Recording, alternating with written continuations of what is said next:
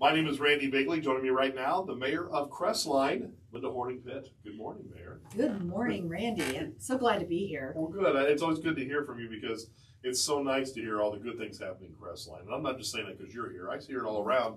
You guys have all kinds of great things going on, and Crestline is really on that upturn, right? Yes, Yeah. yeah, yeah, we are, and and so what's really cool right now is that you know we're coming into the holidays, and so I always like to encourage people, hey, shop local, Mhm. and so we have this really cute. It's called the Alley, and there's businesses off the alley that maybe you may not know about. So this the the the first one on the corner would be the Best Little Hair House. Mhm. And I mean, I love the name, Yeah. you know, and and they have, I mean, they're like almost a full service salon. So they do have a massage therapist on staff, as well as you know hair and nails. So that's a good thing. And then right behind it is Susie's Dog Spa, Oh wow! and, yeah. and I don't know if you know about that, but it, she draws literally.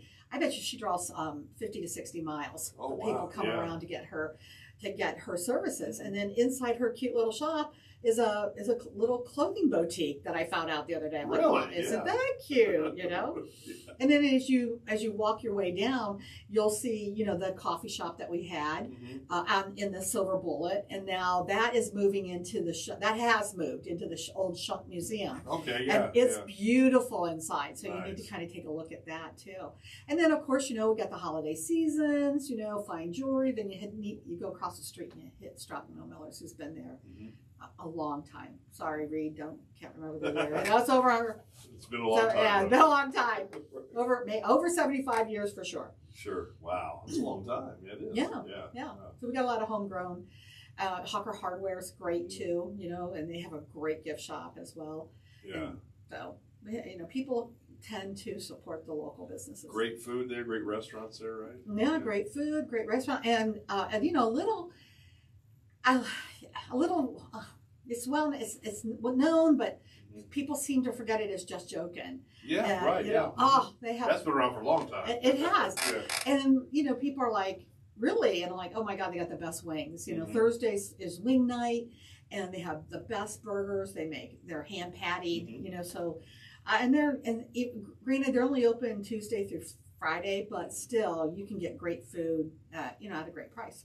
Yeah. yeah, so it's yeah. really good. So we do have that, and we do have um, Joey's Cafe and Pub. Not sure when that's opening, Yeah. but they are doing construction. I have seen that, so that's good.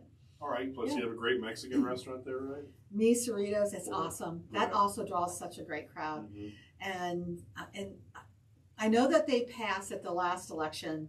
Um, uh, liquor by the drink on Sunday for Okay. Sunday liquor sales. Yeah. And yet, I think the process is, and I don't know if they got that yet, but I know after the election and the certified election results go to the state, and then the state does their thing, and then the state sends the updated liquor license to Miserito. So that's, Yeah. but that's for Sunday. Some people, you know, they want a beer and they want a margarita on Sunday. So, Mhm. so it'll be it'll be nice. Awesome. Yeah. Yeah. Yeah. Yeah. Great. So lots of great things. Uh, you know, we're coming up to Halloween time. I'm sure you got trick or treat coming up here, and Yeah. Yes, we do. In fact, we have uh, October 30th. That's Yes. the last Sunday of October is always our trick or treat day. Mhm. and that is from two to four. And then right after it is scary business. I was going to say that's coming up too. yeah, right? yeah, it's yeah. right. It's immediately afterwards. I, yeah.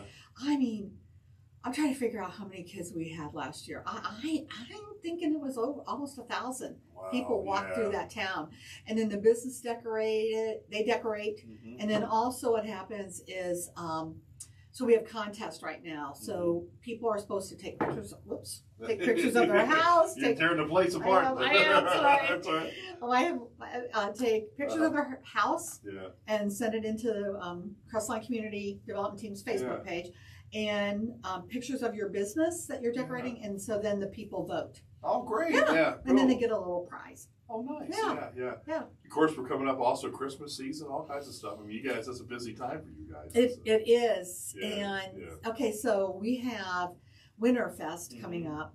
And that will be um, actually this year. It is the Friday and Saturday after Thanksgiving Mhm. at the hub, and I know the girls have been working really hard. I know they're going to have an ice skating rink, Nice, a portable ice skating rink Mhm. that day.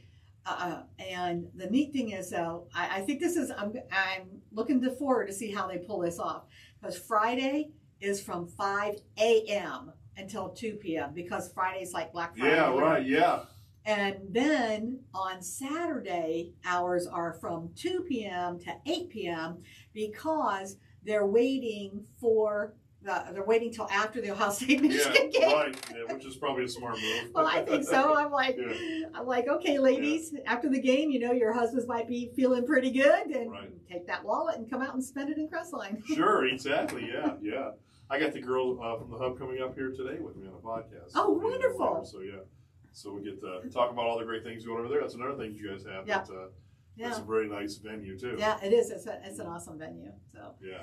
and that's it's it's great because it that has also people come in and they're just floored like oh this is so pretty and so i think if i do believe we are the largest event center in crawford county now Wow. Yeah. So.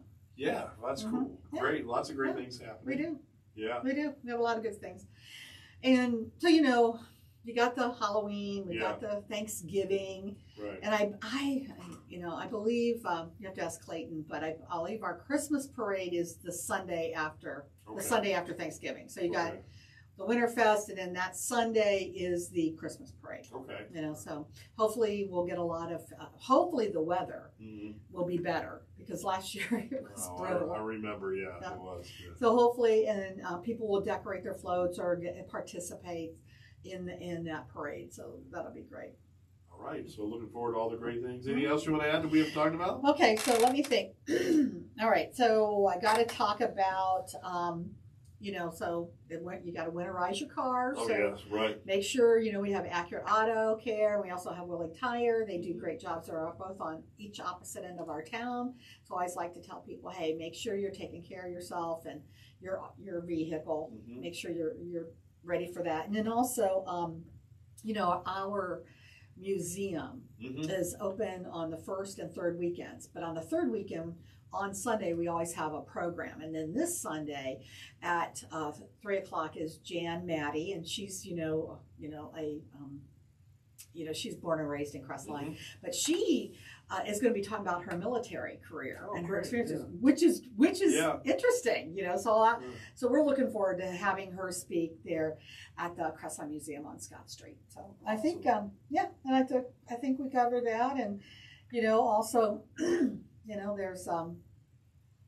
you know, just a lot of places, you know, Yeah. All right. that you can go to.